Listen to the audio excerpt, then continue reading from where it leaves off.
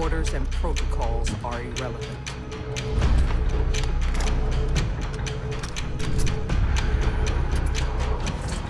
We must be the shield that safeguards the civilized world